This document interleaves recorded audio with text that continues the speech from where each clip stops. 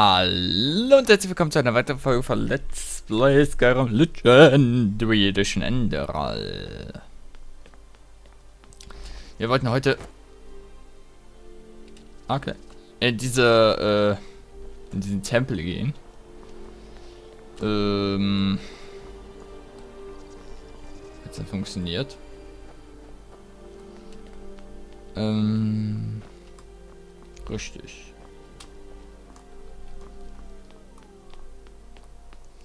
Ich höre hier...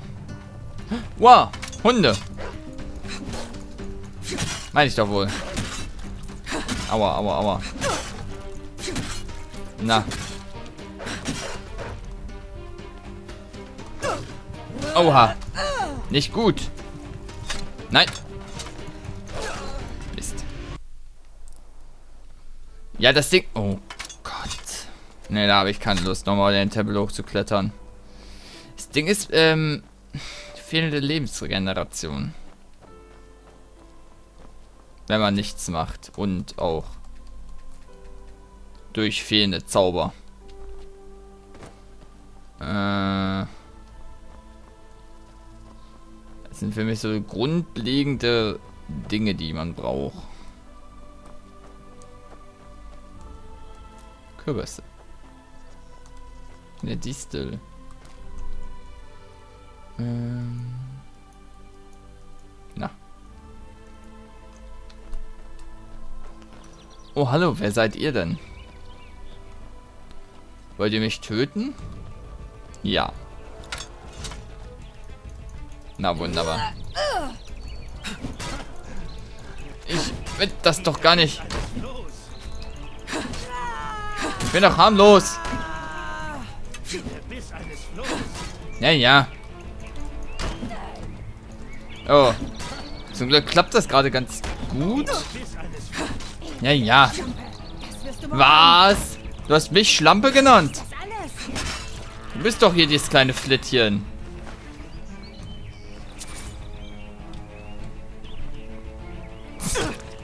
Bitch, ey. Äh, vor wo? Achso, der Bogenschütz wieder mal. Na. Ja, klar. Huch. Aua.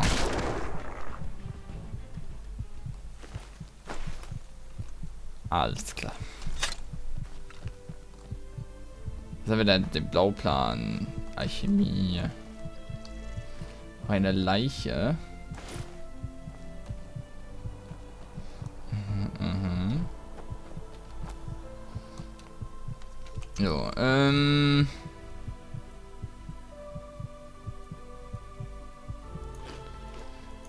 glaube, dass die Kettenhandschuhe mehr bringen, ja.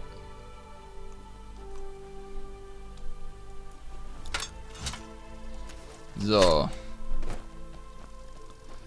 Weiter geht's. Hier durch diesen wunderschönen Wald. Ein Reisestein. Du bist mein Licht, mein Schimmer am Horizont. Dein Name ist mein Sakrament und deine Fahrt will ich ehren, im Leben und im Tod. Der Pfad wirst sehen. Jetzt seh, nicht sehen. Ja.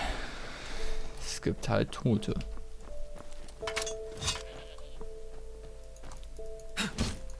So. Aua. So.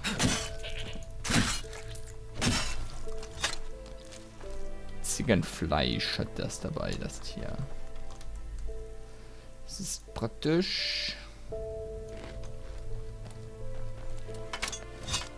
Ähm oh Gott, Wölfe. Ah. Na. Oha, drei Stück. Ja. Oh Gott, oh Gott, ich werde sterben. Je, das war glücklich. Huh. Es geht auch manchmal schwerer aus. Eieiei.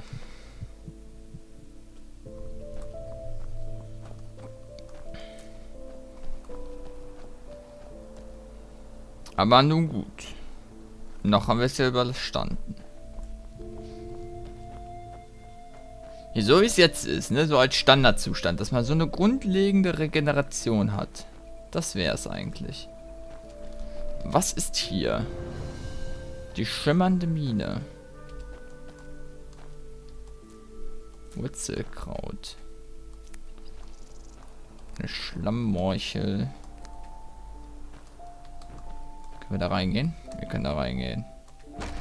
In die schimmernde Mine. Mal gucken, was da so ist.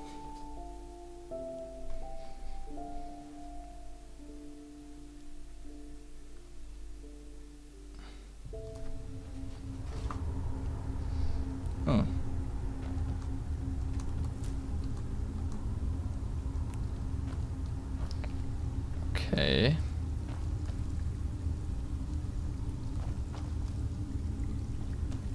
Interessant. Oh nein. Das hat auch nicht so gut geklappt, ne? Ein Troll! Oha, oha, oha. Wo ist er? Wo ist er? Oh, ja, ja, ja. Ist er weg? Ist tot. Trollfett, tatsächlich mal was, was aus dem normalen Skyrim übernommen wurde. Ist ja. Gibt's ja auch noch. Aber anscheinend wurde hier was gelagert. Geldbeutel. Interessant. Da hinten ist noch ein zweiter Raum. Ein Schürfer, ein toter Schürfer. Die Frage ist, was haben die hier geschürft? Sieht aus, als wäre das schon sehr, sehr lange verlassen hier.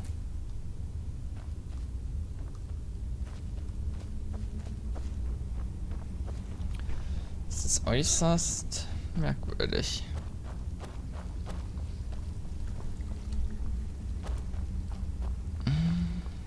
Hier ist noch Eisenerz.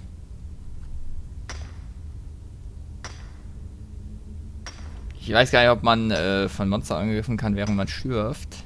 Ich glaube nämlich nicht.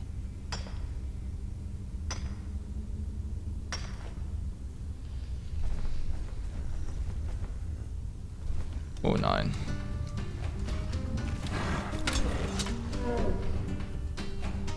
Ja, komm noch.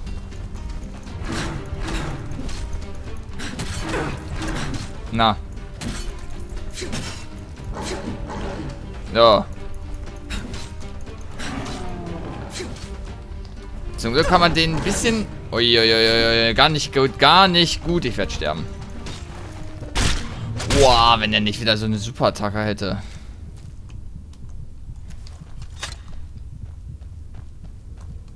Puh. Nisha. Ist das denn? Eine Wehrrobe? Hat, bringt ihr was? Mana regeneriert 9 Punkte schneller. Rüstung 17. Mhm. Äh, da fällt mir gerade ganz knapp ein. Habe ich nicht, äh... Ja. Ich habe sogar Heilzauber. Wieso nutze ich die nicht? Wahrscheinlich, weil das das Arkanistenfieber erhöht.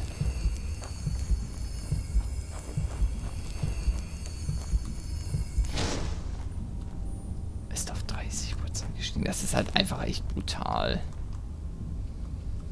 Ähm...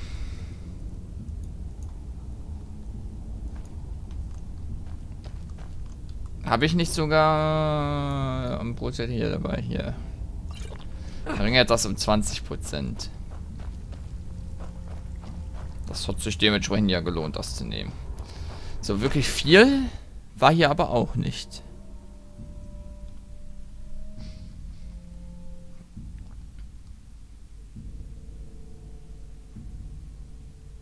Naja.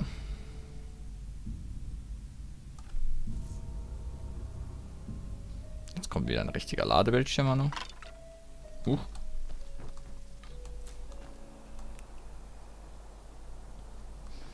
Hm. Äh, ja, weitergehen. Ne? Jetzt äh, war ich aus dem Konzept raus. Da hinten ist wieder ein Gegner, will ich ja behaupten, bitte. Na. Ey. Sorry, Fuchs. Ich muss an deinen Pelz.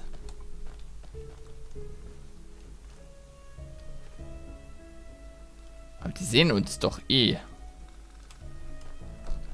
Hier sind die auch gar nicht feindlich. Okay, der hat ein Mega-Ding in der Hand. Oh, oh. Gottes Willen, nein, ich will das nicht. Ich nehme erstmal die kleine. Äh. Na. So. Oh. Ja, wahrscheinlich gerade viele Mausklicke, so. Okay, den ersten haben wir. Ah, ja, ja, der macht aber viel mit seinen ähm, Dingen. Das ist halt echt schon... Wow! Ja, wer nur in die Defense geht, ne, der, äh... Der macht gar nicht so viel Schaden, das Ding. Ich hätte es jetzt äh, schlimmer gedacht. Nägel. Aha. Interessant. Ark und Flussheim. Gehen wir da doch mal erst hin. Schade, ich wollte das einsammeln.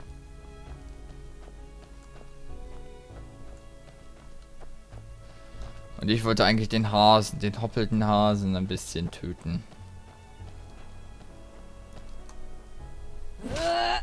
Na.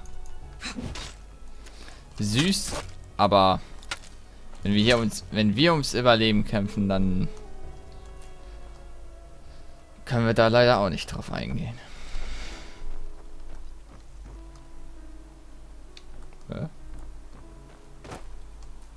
Ja, Muscheln. Ah ja.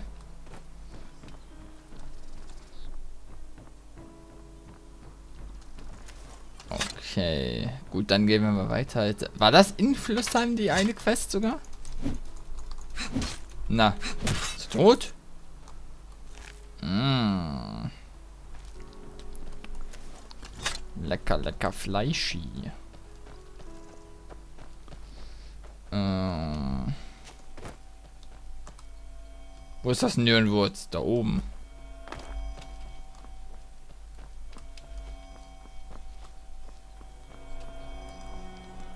Wünwurz. Äh. Vielleicht sind das ja auch gar nicht andere, sondern einfach nur, weil hier quasi so eine andere Sprache herrscht. Oh Gottes Willen, ich habe Angst. Na, war zu spät. hey, ja, ja. Wow! Nein! Das, äh, ist nicht gut gewesen. Äh. Einer Teil. Oh oh. Nein. So. Oh, da ist noch ein... Oh Gottes Willen. Und weg mit dir.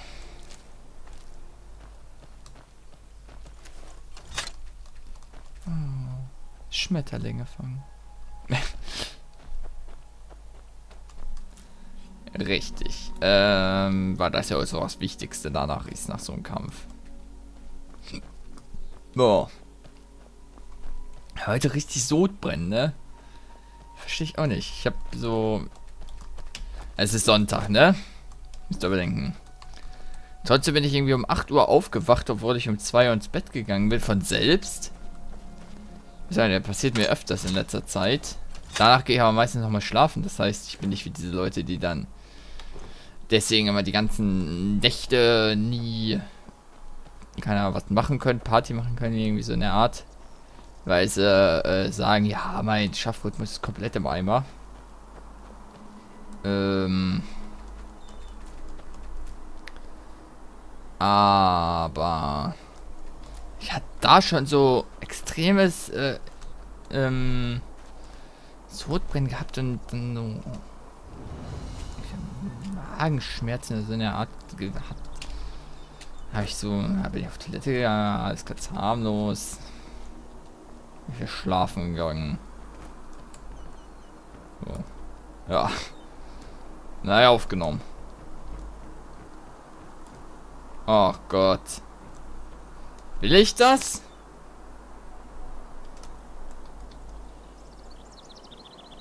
Ah. Interessant, diese äh, das Ding da. Was ist denn die? Die Karte ist schon nicht klein, ne? Äh, wir haben das hier entdeckt. Das ist der Rastplatz, die Dreiflusswacht. Ja gut, sie ist vielleicht doch ein bisschen klein. Wenn der Rastplatz bis hierhin, das ist so... Also das bis hier wäre Weißlauf, würde ich sagen. Also Weißer Flusswald so etwa. Die ist... Ähm, weil in den Bergen ist ja nicht so viel. Denke ich mal. Es sei denn, das gibt es hier hinten noch. Ähm...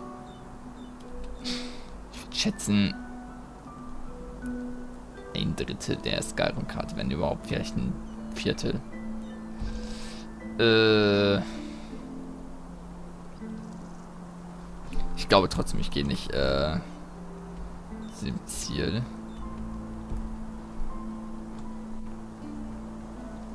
Äh, aber da...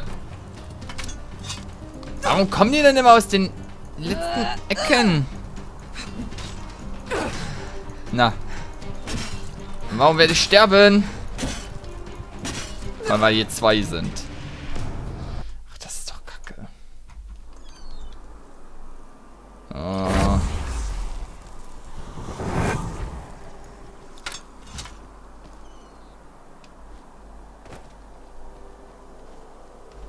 Kommt! Ja, wo sind wir denn diesmal hin?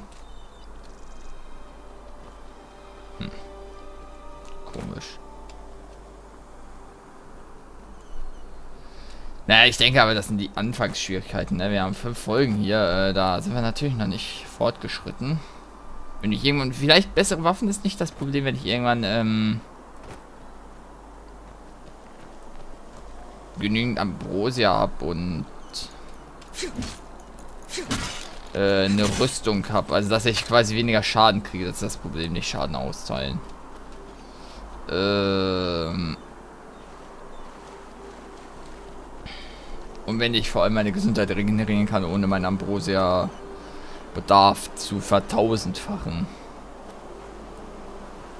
Was ist das denn? Das ist Angeln? Ja, ne? Angeln. Ah, da ist die Schatulle. Jeros Tagebuch. Das wollen wir aber gerne nochmal lesen.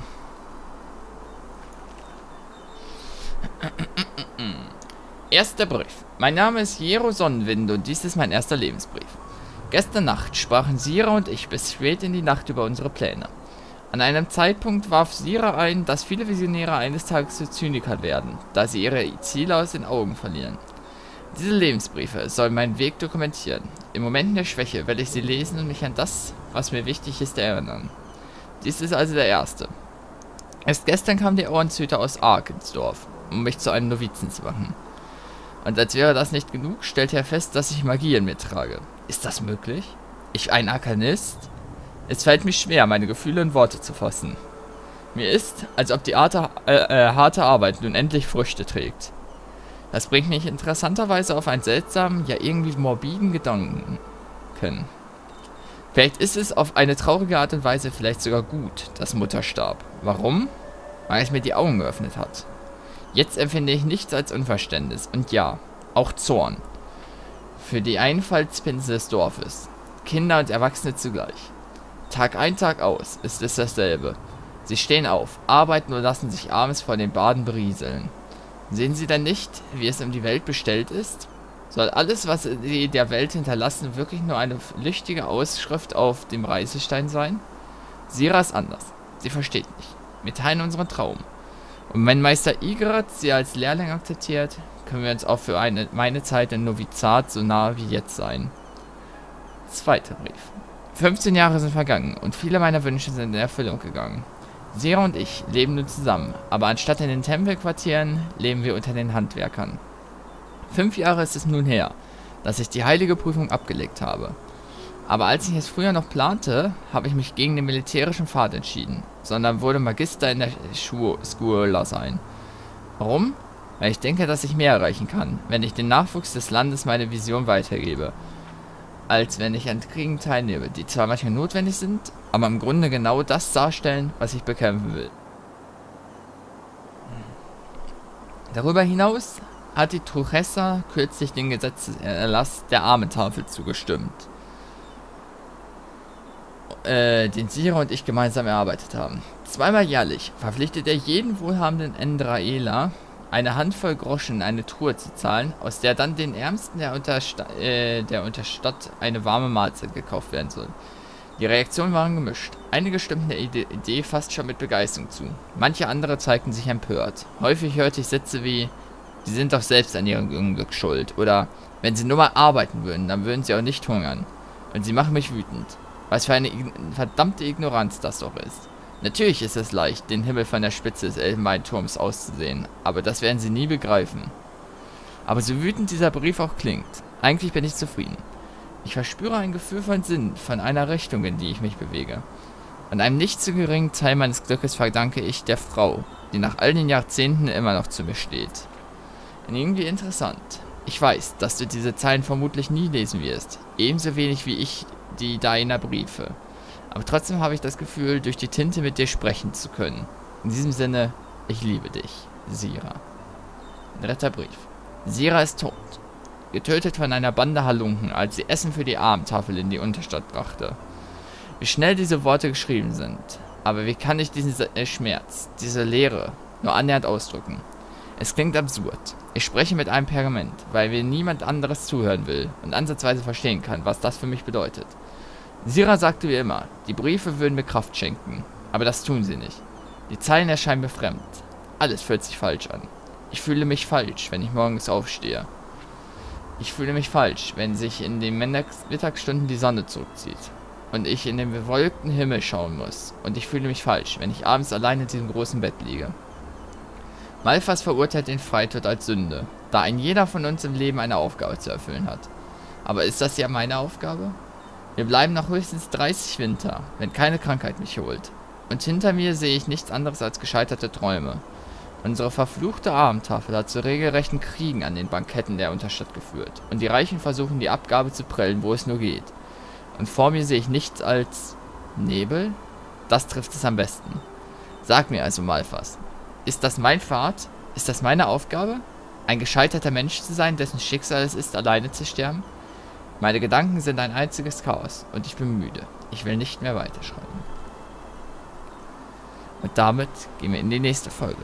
Bis dahin und tschüss.